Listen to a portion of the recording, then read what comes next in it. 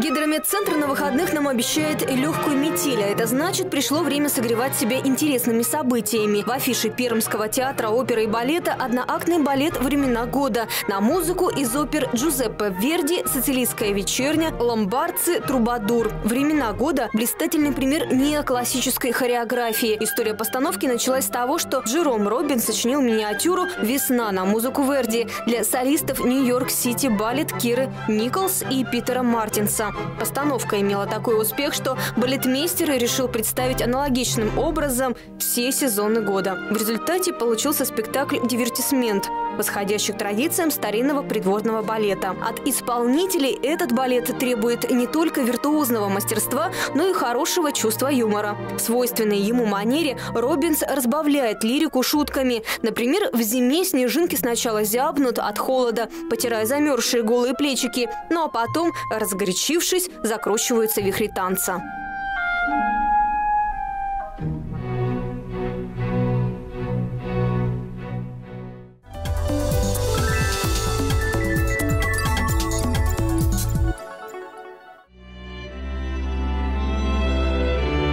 Show. Частная филармония «Триумф» знакомит нас с теорией струн. Теория струн – это уникальное звучание легендарных Гольдберг-вариаций Иоганна Себастьяна Баха в авторской аранжировке гитариста группы Би-2 Андрея Звонкова и струнного квинтета. Изначально созданные для клавесина в 1741 году 30 вариаций, словно бы не имеющих ни начала, ни конца, завораживали многих музыкантов на протяжении столетий. Андрей Звонков, выпускник Гнесинки, с 2006 года в одной из самых успешных российских рок-групп, не оставляет своего увлечения классикой и регулярно перекладывает для гитары фортепианные шедевры.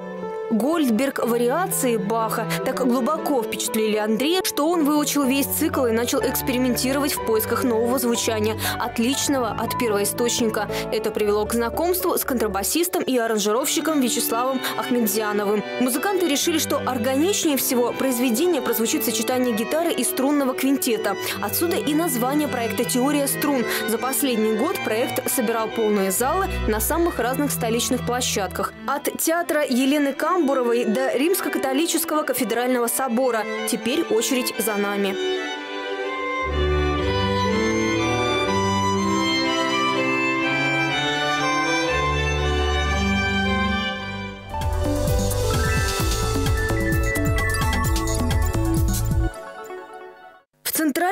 Выставочном зале экспонируется любопытная выставка, посвященная сотворчеству поэта Маяковского и Родченко, фотографа, дизайнера и художника. Эта парочка создала целую армаду рекламных плакатов, которые стали классикой рекламы. Содружество Владимира Маяковского и Александра Родченко в 1923-25 годах, одно из самых известных в отечественном искусстве, привело к появлению знаменитой марки «Реклам-конструктор Маяковский-Родченко».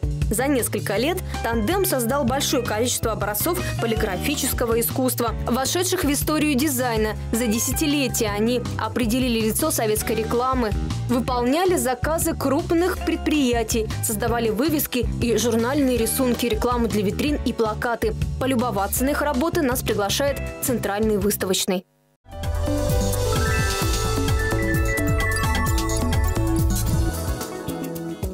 Лишним будет напомнить, через неделю, 4 ноября, состоится очередная Ночь искусств в Перми. Всероссийская акция «Ночь искусств» проходит под девизом «Искусство объединяет». Вы сможете посетить выставки, лекции, мастер-классы и концерты в музеях и арт-пространствах. Они будут работать до позднего вечера. Успевайте провести свое свободное время увлекательно, иначе будни вам этого не простят.